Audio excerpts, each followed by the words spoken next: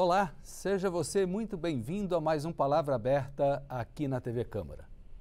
O Brasil tem quase 88% de seus municípios com menos de 50 mil habitantes. Nesse grupo, tem um conjunto de aproximadamente 1.300 municípios que não tem nem 5 mil habitantes e em quase todos eles a arrecadação de impostos municipais fica abaixo de 10% das receitas totais. Ou seja, dependem de repasses estaduais e federais para poder prestar os serviços básicos à sua população, como educação e saúde. E a conta pode ficar ainda mais difícil quando esses pequenos municípios têm de pagar tarifas bancárias para movimentar esses recursos. Eu sou William França e é sobre o projeto de lei que proíbe a cobrança de tarifas bancárias nas contas usadas pela administração pública, direta e indireta, para a movimentação dos recursos obrigatórios da área de saúde, que eu converso agora com a deputada Flávia Moraes, que representa o estado de Goiás pelo PDT. Deputada, seja muito bem-vinda à Palavra Aberta. Obrigada, é um prazer poder participar aqui. Né? E assim a gente cumprimenta os, quem nos acompanha.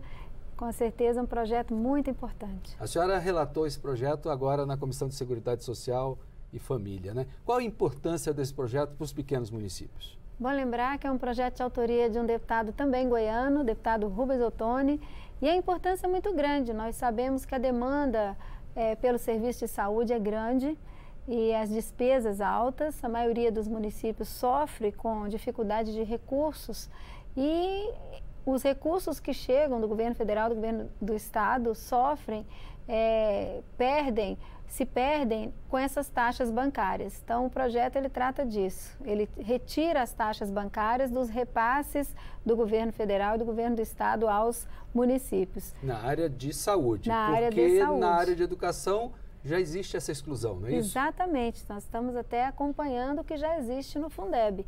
Então, com certeza, é uma proposta muito meritória.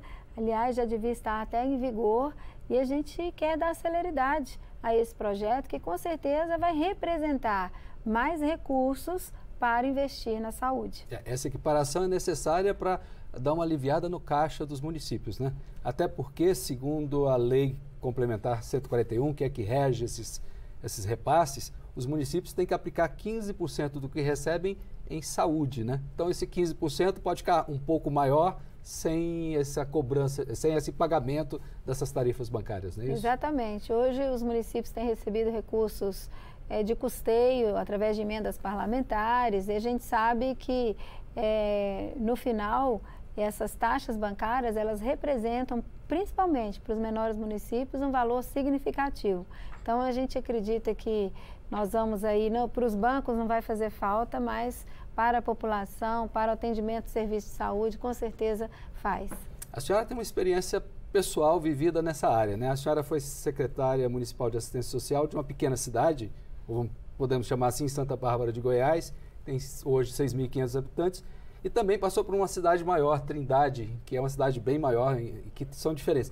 É, é, o impacto de uma cidade pequena, quando você tem poucos recursos, de tirar dinheiro e pagar a tarifa bancária, é bem mais expressivo do que numa cidade maior. Né? A senhora vivenciou isso vive, é, dirigindo a mesma pasta em cidades de dimensões diferentes, não é isso? Exatamente. Apesar de que as demandas também são diferentes, né? na cidade maior as demandas são maiores, mas com certeza existe aí é uma arrecadação maior, condições, o comércio é mais forte, então a facilidade de captação de recursos é maior. O município pequeno, ele vive basicamente é, pela, por, pelo FPM, o ICMS, e, esse recurso é insuficiente é, para manter as despesas nos municípios menores. Com certeza, essa, essa lei ela vem de encontro aí, e independente de ser menor município ou maior, eu acredito que investimento na saúde, de uma forma geral, né, pelas dificuldades de acesso que a população hoje ainda tem para certos procedimentos, é, exames, cirurgias, é, ainda é básica, muito né, grande. Que os municípios pequenos Exatamente. cuidam da, da saúde básica, né? Exatamente. Normalmente é pequenos postos de saúde. É, mas né? eles têm que pactuar também para fazer é, esses atendimentos de média e alta complexidade. Todo jeito não faz ali no município, mas no município ele conseguir fazer no outro, ele tem que pactuar. Ele recebe uma verba de média e alta complexidade sempre inferior à demanda do município e ele tem que ficar fazendo essa manobra, essa mágica, né, para conseguir fazer com que, e muitas vezes é, recai no paciente, que tem que ficar esperando um, dois, três, quatro anos para conseguir uma cirurgia eletiva, por exemplo.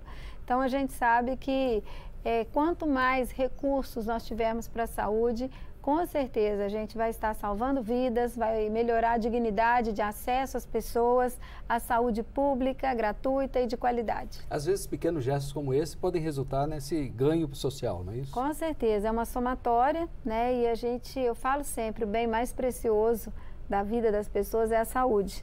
E com certeza todo governo, todas as esferas de governo precisam priorizar essa área, que é uma área que tem muita demanda e que precisa de muitos recursos, né, de, de muita gestão para que ela aconteça de forma efetiva. Tá.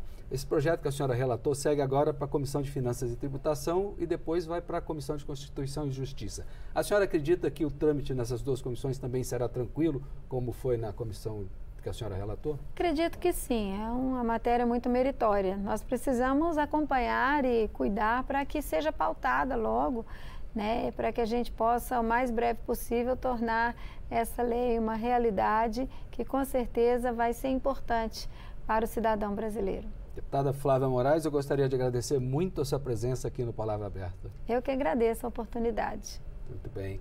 E eu me despeço aqui agradecendo também a sua audiência.